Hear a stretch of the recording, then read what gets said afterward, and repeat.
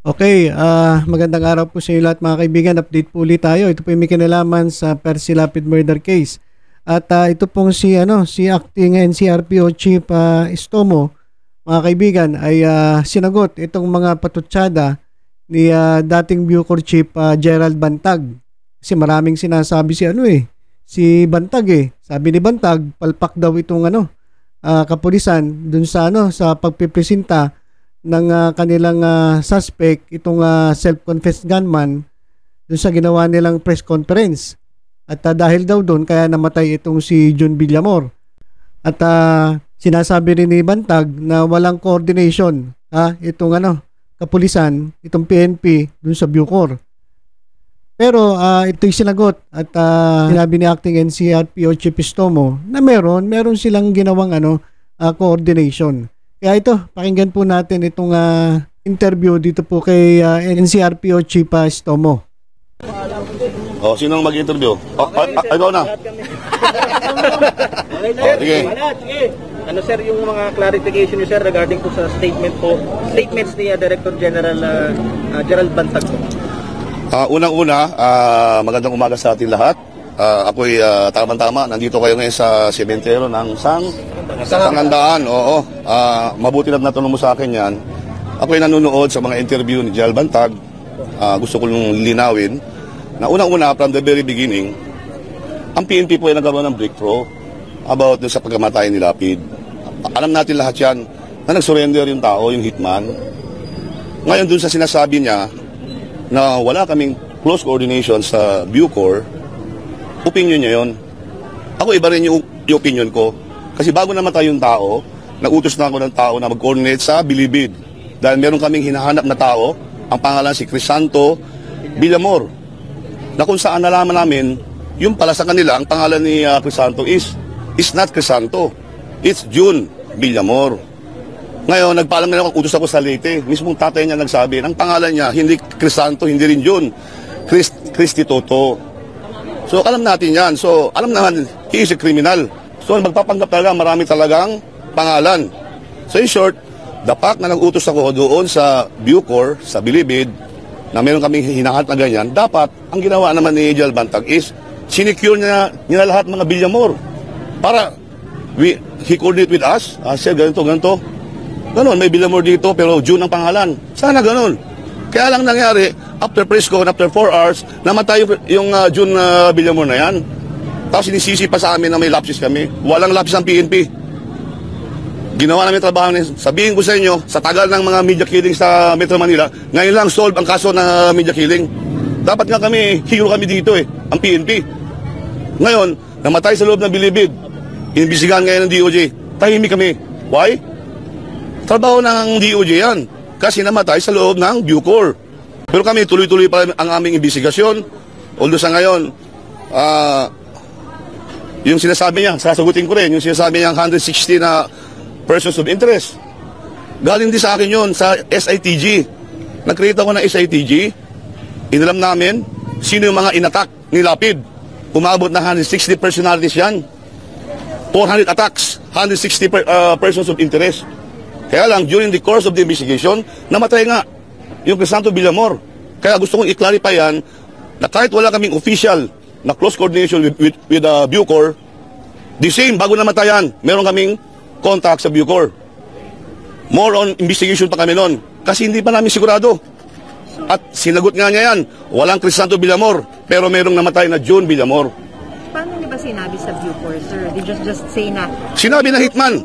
May alam na kami sa hitman. Nung, nag, nung nag-surrender ang hitman, may idea na ako. Yung pangalan Crisanto uh, Villamor, kaya nag-utos ako sa Bucor. Alamin kung meron bang Crisanto Villamor. Ang problema, wala nga. Ang pangalan, June Villamor. yun yung sinasabi, sir, ni Bantag, I think. Yes. Sinabi, may pinapahanap lang kayo, but May pinahanap- may pinapahanap kami. Yan yan, Crisanto Villamor nga. Kaya lang, sinagot nga nila yon na walang Crisanto Villamor kasi nga ang pangalan niya sa Bucor is June Bi- Villamor. But did you ask Bucor to secure him because of the information that you have? Hindi na namin naisip yan. Kasi nga, sinagot na nga kami ng walang Crisanto Villamor.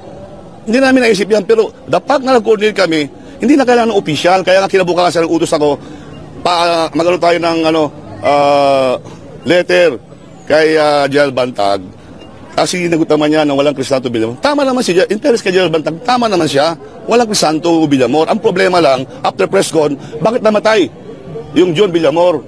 Sabi po ni General Bantag na yung part doon sa coordination, dapat daw hinihintay nila kung may utos ang PNP na isecure ang lahat ng mga Villamor. Ah, yun po yung point. Hindi namin pwede sabihin yun. Una-una, ang Bureau is under DOJ. Tama nyo? Hindi naman under ng DILG ang uh, Bucor. Saka during that time nga, gusto kong ulitin, nag-imbisiga, nag-imbisiga pa, pa, pa kami. On our level pa lang yan. Kaya hindi, hindi kami pwedeng mag-utos na i-secure.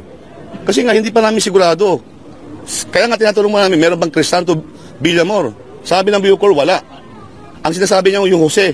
Yung Jose, kung mapansin nyo, pina, pinakuha ko yung si Jose Villamor. Na-transfer na ngayon ng Camp Crame. Wala sila sinasabing Crisanto na kung saan June pa lang pangalan noon. So ang akin lang dito, kaya ako papress ngayon, gusto i-clarify sa inyo na walang lapse ang PNP. Snappy ang aking SATG at ah, of course, in na rin sa aking chief PNP, sinabi niya na maganda ang ang ah, naging investigasyon ng lapid case. Kami ang nagkaroon ng breakthrough. Yang ah, pagkakataon ngayon na namatay sa loob ng Bucor, ina in- imbestigahan ng DOJ, eh, dapat lang imbestigahan yan. So sir, hindi selective, walang sinisingle out kasi yan yung luma, lumalabas. Parating si General Bantag ang Parang lamang lang siya dahil nga may namatay. Pero hindi ko siya sabi, in fairness kay General Banta, hindi ko siya sabing siya ang mastermind. Para maliwalag ito, hindi ko siya sabing siya, parang, kumbaga sa kartada ng, ano, ng Lucky Nine, ikaw, nag-good ka na, 7. Ito, naghirit ako, bi- bila ako nag-9. Parang ganon. Parang ganon lang yun. Sir, what will happen? Uh, Siyempre, nasa preventive suspension si General Bantag. Ano yung susunod na hakbang? Ah, no comment tayo dyan. Ah, anyway, kinibisigahan na ni DOJ yan. Ah, siguro si DOJ ang sagot ang tanongin nyo ah, tungkol dan. Okay, so yan po, narinig po natin ah, yung ah, sinabi ni acting NCRPO Chief Estomo. Bale, sinasabi niya na wala pong ano, lapses itong PNP.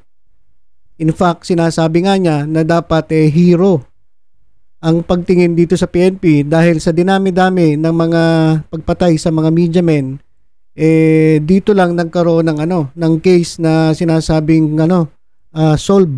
At ah, sinabi niya na bagamat wala silang ah, proper coordination, inamin naman niya eh, na hindi nila sinabi dito sa Bucor na i-secure itong uh, Villamor. Eh, kasi nga, ang sabi ni CRPO chief, eh, sinabi na nga ng Bucor na wala, na walang Crisanto Villamor. Pero sinasabi nga ni ano ni Stomo na dapat sinecure pa rin itong ano, sinecure pa rin itong ah, Villamor. Kung ikaw ay ah, gustong tumulong o dito sa investigasyon, eh dapat sinecure mo na agad yung ano, yung Villamor. Na kahit iba yung pangalan, dapat inisip mo na pwedeng ito yung Villamor na tinutukoy ng PNP kasi alam naman nila diyan sa Bucor na itong mga nakakulong diyan eh maraming alias na ginagamit. So, para kay NCRP o Chief Stomo, wala silang lapses. Ang may pagkukulang daw eh itong Bureau of Corrections. At tungkol naman dun sa ano sa 160 na person of interest ay ah, mas na single out itong si Director General Bantag eh, kasi nga sabi nga ni Stomo eh lamang. Kumbaga lamang ito si ano si DJ Bantag. Kaya siya yung naunang pinangalanan. Hello mga nanonood dyan, mag-subscribe po kayo sa Batang Maynila Toys. Ay, mali, ganyan pala.